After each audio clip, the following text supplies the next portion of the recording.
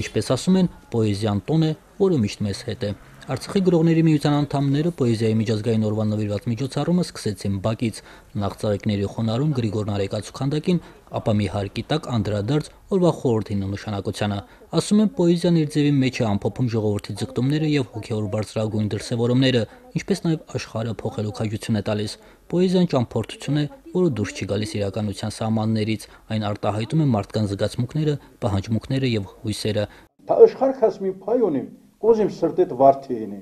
հոգի ումբուր փեշ կանիմ, թակի սրտետ վարդեինի։ Ըստծու է սրտավ կինի, որ իմ սրտաստու ջուր խմիս,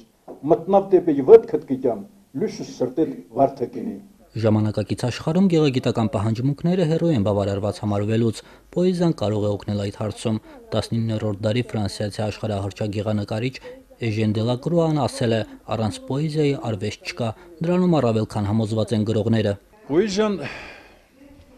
բոլոր ժամանակներում ունի իր անելիքը։ Բանաստեղծությունը դա մարդու մեջ ապրող անսահման կյանքի սերն է եւ միաժամանակ ժամանակի դիմադրությունն է բանաստեղծությունը։ Պոեզիան Աստծո ձայնն է մարդու մեջ, Աստծո կերտած մարդու մեջ, որը որ սակայն Աստծոց դուրս է եւ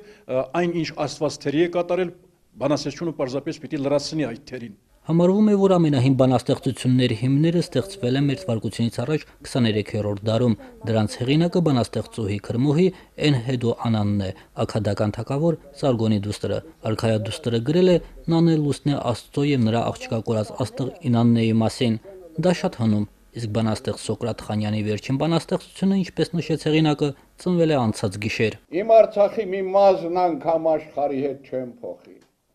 վեր ընկացել աչ ու ձախից, սատարում են թշնամուն, ինքս կգամ նրանց հախից, կպաշտպանեմ տեղ ու տուն, ես եմ բացելողիս կանաչ, լեռնագնա,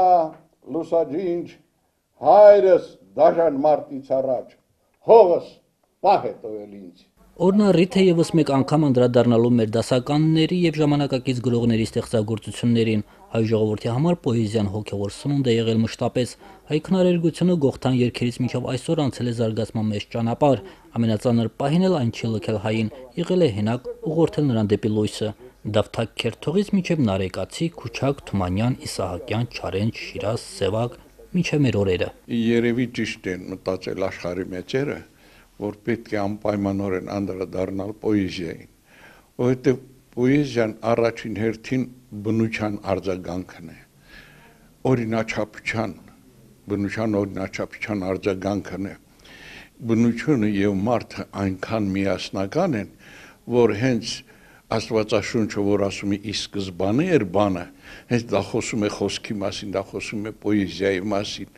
Եվ աշխարհում չկա մի ժողովուրդ, որ հարուստ պոեզիա ստեղծած չլինի։ Արցախի գրական ընտանիքն այսօր աշխարհին է ներկայանում իր ինքնատիպ պոեզիայով, եւ պատահական չէ, որ Անդրկովկասում առաջինն Արցախը կազմակերպեց պոեզիայի միջազգային փառատոններ։ Արցախի պոետներից Վարդան Հակոբյանը, Հրանտ Ալեքսանյանը, Ռոբերտ Եսայանը մասնակցել են Մակեդոնիայի, Ֆրանսիայի, Ռուսաստանի, Լեհաստանի եւ Հայաստանի պոեզիայի փառատոններին, թարգմանվել են մի շարք լեզուներով, հրատարակվել առանձին գրքերով։ Այդ ձևով նաև պոեզիա մեծապես նպաստում է Արցախի հանրապետության միջազգային ճանաչմանը։ Գենադի Երեմյան, Միրժան Հայրապետյան, օր